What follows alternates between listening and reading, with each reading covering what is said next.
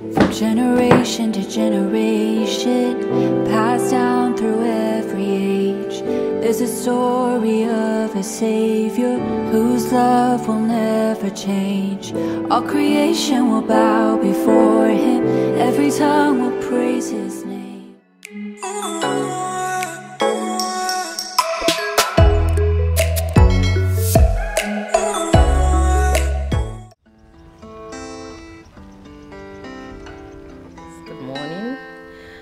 Like I owe you guys a life update. I have just had a lot on my table, but I think it's high time. But for now, just know that my mom is here and she's here for a purpose. So we are going for this morning. We'll be going for a medical test, and we have been in and out of hospital and lab for this purpose. So I think I'll give you guys the full gist later on because she's waiting for me. You're going to get to meet my mom. Well, I would like to take you guys on the journey, but I'm not sure whether I should be comfortable with everything. So I won't really like to put details as in details, details. I've missed talking to you guys like this. I've missed my camera.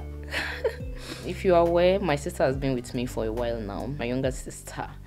She got a job and she had to relocate a lot. Let me quickly hurry now.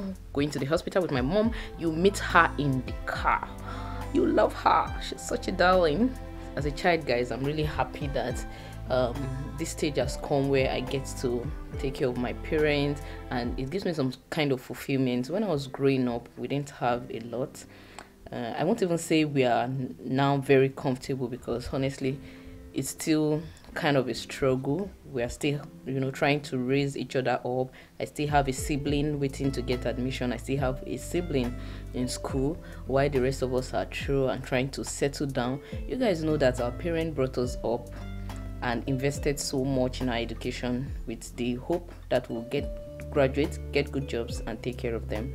But let's just see the economic situation in the country is not even helping. Like if you graduate now what's the what's the prospect? It's not like before that when you finish school you're going to some companies are going to come carry you and all of that.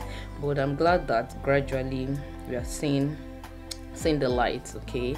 My sister just got a job. That makes me so happy.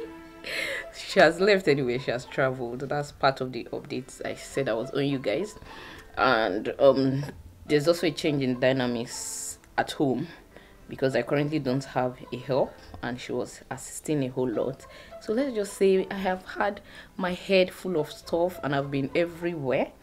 I've been everywhere. I've not actually settled down with my job even. It affected how much time I'm able to spend at work and also psychologically. But I'm, I'm happy, I'm, I'm glad, I'm glad. So guys, let's go before I start talking too much. Officially meet my mom. Hi mommy. Say hi to us now. Hi. Okay guys, let's go.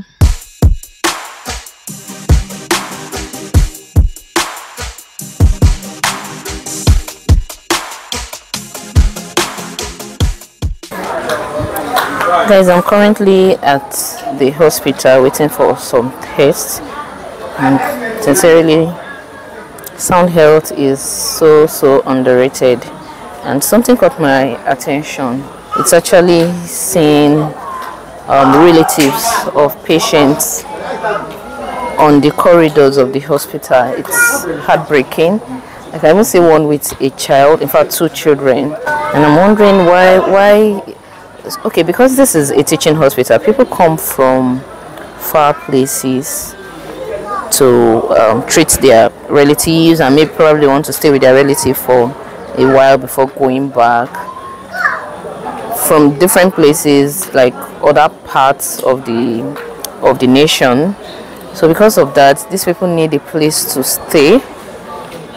And of course fund is like an issue. Like there are so many poor people in Nigeria that of course healthcare comes first even if they can you know try to take care of themselves health wise now paying for accommodation and all that it's still a huge deal. So it's kind of heartbreaking seeing people you know lying around on the corridors and sleeping you know they wash clothes spread on grasses. This is where they practically live till their relatives are okay. And I see this round the hospital, like this is the emergency unit, for example, and guys, it's heartbreaking. Every ward, like in front of every ward, you see a relative lay fabric down. Waiting days not even just one day or one afternoon they are there for days. You know they buy food and they're just there. The government should maybe have a dormitory for hospital where if you are stranded you can actually go there and you know stay there for the period of days that you'll be here rather than staying on the corridors this is an example of what i'm talking about are you seeing some fabrics right there are you seeing? Are you seeing that? Some people are washing.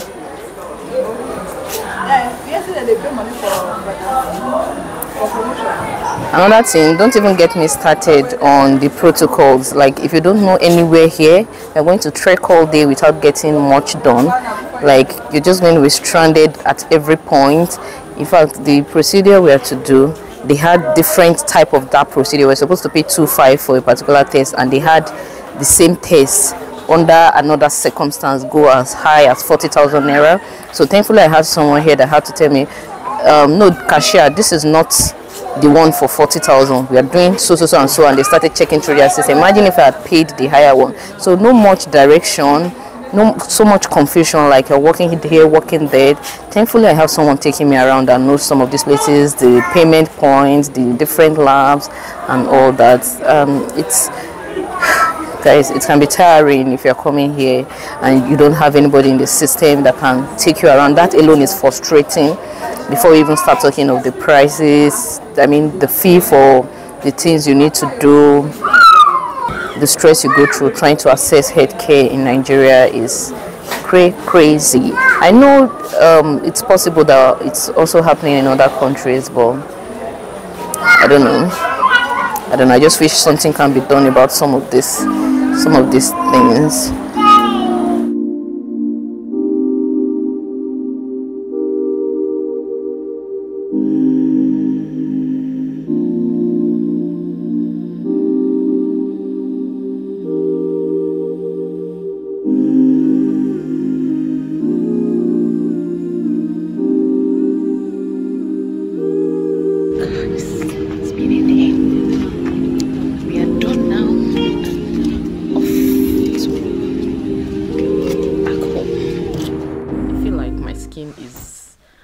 Producing factory. You know when people say my skin is glowing see the glow and all that i can't even relate. I don't want it to glow. I don't want a single glow. It's already over glowing so guys i just got back um i want to sit my butt down and do some editing. I need two videos to be ready. To be honest i actually have done all the cuts in the videos I want to post today but I haven't added music like done my intro and all that. So I'll sit down and you know do it. I received a message today that is really you know motivating me. One of my uh, school not schoolmates because the person was a year ahead of me a guy. He was our prayer secretary at uh, um, the badminton association then. And contacted me today. This is not actually the first time that I'll be receiving such messages. He contacted me, sent me a message that his wife has been watching my tutorials. If you don't know, I have a tutorial channel, Kema Freak, where I teach sewing, we talk fashion business and all of that. So she sent he sent me a message that his wife has been watching my tutorials I usually tells her that oh, I know this lady very well and all of that. Oh God, that really warms my heart. And this is whenever I go to market, especially where they sell fabric, sewing materials right now in Benin City anytime I go there, I must meet one person that will tell me, Oh, I watch your tutorials. One lady even told me, I downloaded one of your videos yesterday and it was so hard for me. Just that most time I don't used to remember to bring out my phone to film or maybe snap with them or something, but I really, really appreciate it. It's so heartwarming to see. It's also quite encouraging, you know. I'm just here doing my thing, trying to be open, trying to bring people in. Uh, there was a time where I was very protective of my space, my truth, my experiences. You know, when you just build this wall and you don't want too many people in, because of course, with too many people also comes like hurts and issues. So yeah, I had this wall around me, but at a, at the time I felt God calling me out of my shell. And one of my motto in life, that's a personal scripture for me, is Matthew 5, is it 14? Yeah, Matthew 5 14. You are the light of the world. A city that is set on a hill cannot be hidden. This has been my anchor scripture for a very long time.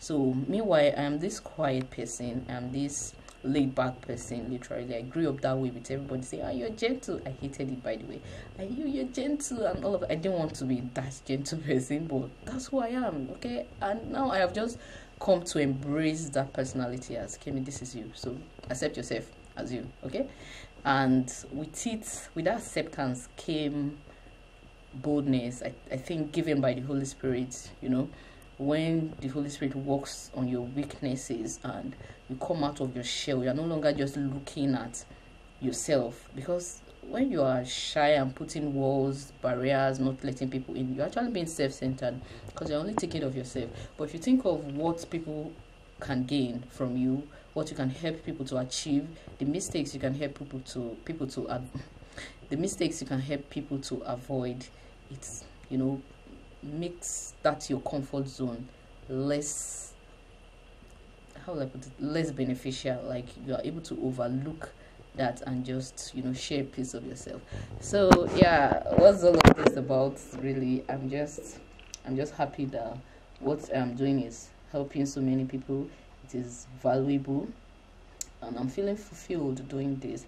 I pray for more grace to do more of this because sometimes it really gets tough. It gets hard. Like i've been struggling with editing videos for a while now. I'm so busy with work and i also have multiple ideas on my head. But this morning god was speaking to me about being focused again. Like i had this business that my mom brought honey for me. I paid for honey from her village so that i can sell i bought some glasses you know shades that I, i'll be selling guys. And then i'm thinking of other parts of my sewing business just multiple things. And god was telling me focus focus focus. There's something i know i do well. I feel god is wanting me to put in all of my effort all of my energy into doing more of that rather than trying to do so many things at once. For the shade glasses part okay i'm just going to separate it and probably someone can handle it for me but you know any other thing biting my attention right now it's just going to be in the background for the honey. I'm going to sell this honey but i'm not getting anymore because i ordered for this like up to five months ago. And as at the time she came up i was beginning to ask myself why did i even buy this? So it was like a spur of the moment. Yes i can buy honey. And i went ahead and i got this. I have like gallons of honey right here that's original honey that I will be selling. I haven't even started advertising. I was considering, you know, branding and all that, but what's the need when I'm not going to continue in that line of business? But let's see how let's see how things go. Another reason why that we go onto the background is also because getting the honey right here is quite tasking. Like I said, the honey has been available in my hometown. We bought it like five months, if not more. What am I saying? Five months? should be almost a year, guys so we bought it since then but how do we transport it here? There's no direct bus from my hometown here. First we brought it from my mom's village ejuku to Kabba. And then from Kabba here there's no direct bus. And it's just been a lot of you know we had to wait till someone was coming this way and the luggage was so much for her. So do i have to keep waiting? So the transport logistics and all that is still part of it. But there's also power in focus, hyper focus, actually, channeling your energy into that one thing that God has opened your eyes to see. I feel like I am talking too much. Am I talking too much? Okay, guys, so let me go on to do the other part of my work. See you another time.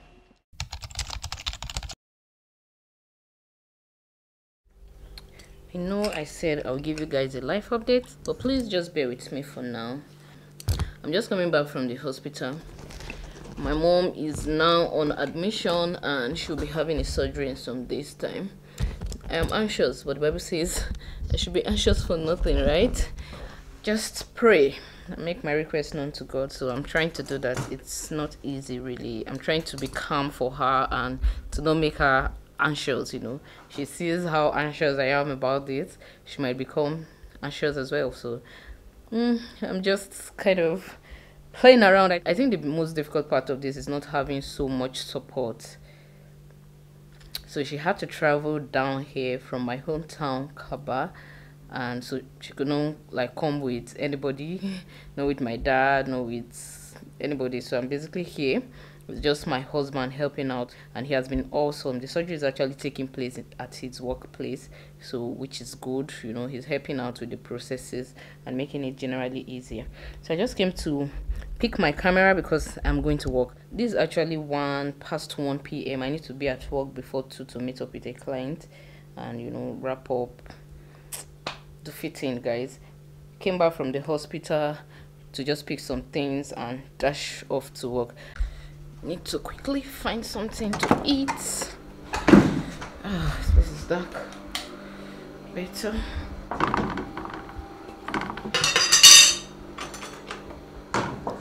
Just need something little to hold my stomach.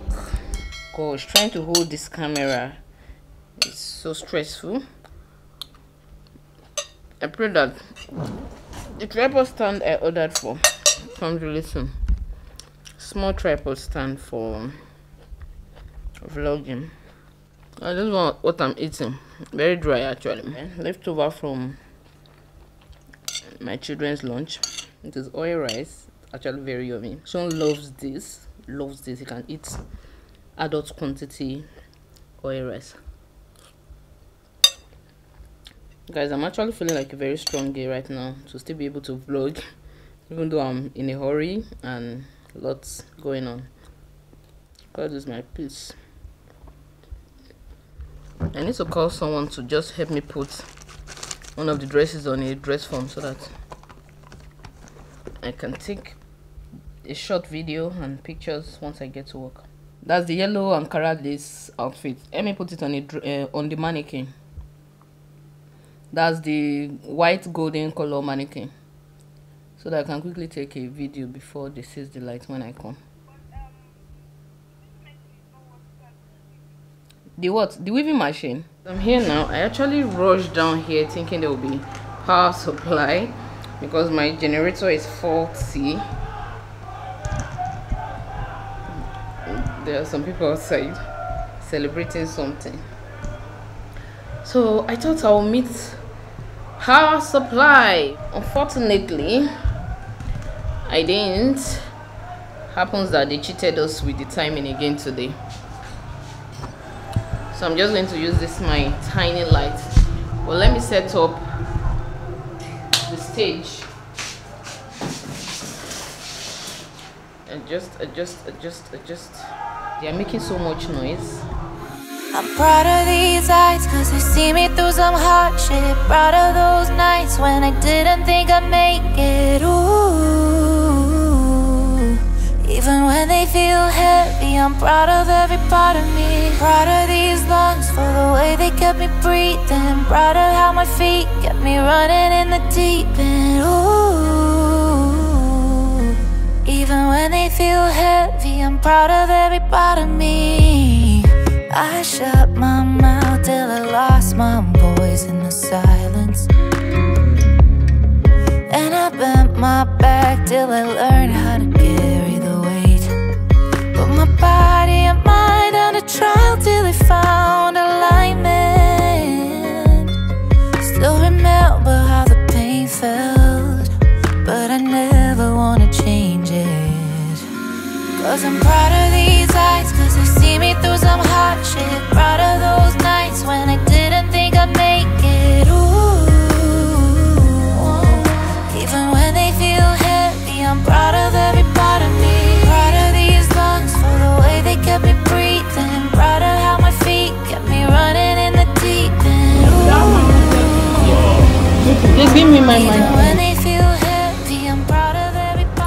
I'm in town. I told you guys I was rushing to get to the office so that I can attend to a client, you know, do her fitting for her. The funny thing is, she didn't come after all my rush. After waiting for a while, I just decided to call her that because I communicated with her this morning, so I felt she would be on her way. So she told me the reason why she was not coming, but I was just saying that I had to rush, you know, come to the office to do all this stuff just for nothing. But it's one of those things.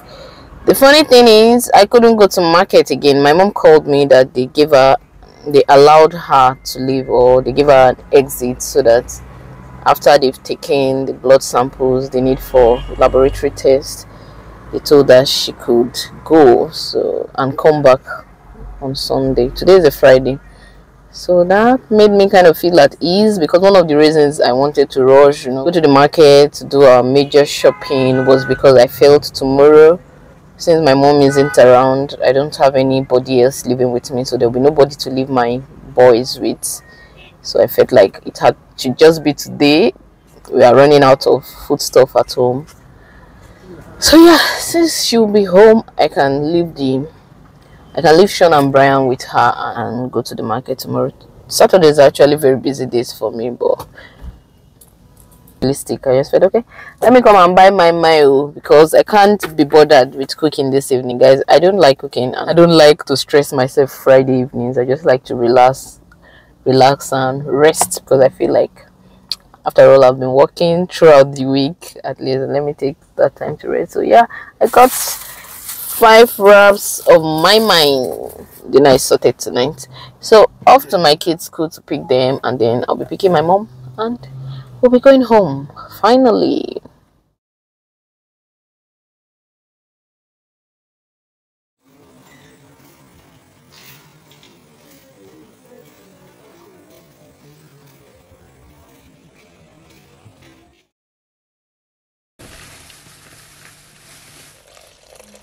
Amen.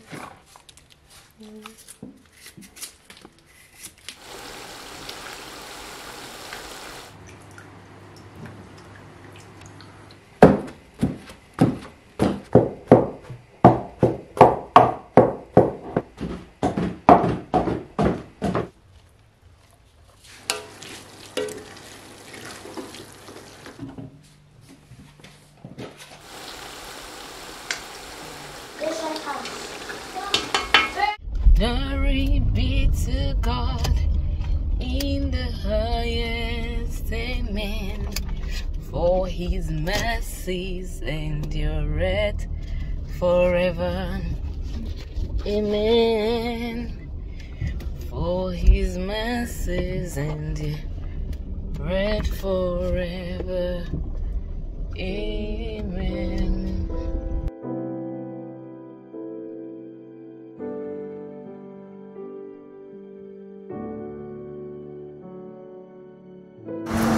My good reports.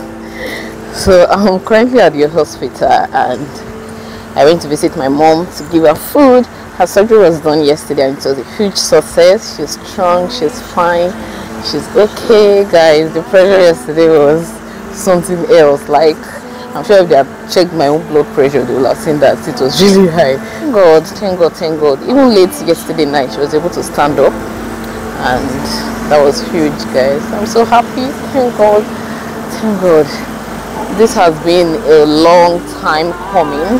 Honestly i struggled with praying for this. I don't know when you're just overwhelmed with a lot of things going on in your mind it really difficult to pray and you just kind of hope you have prayed enough along the line. That's why it's good to pray when you don't have anything bothering you as such. To just praise god you know table things before him and that was what I banged on largely.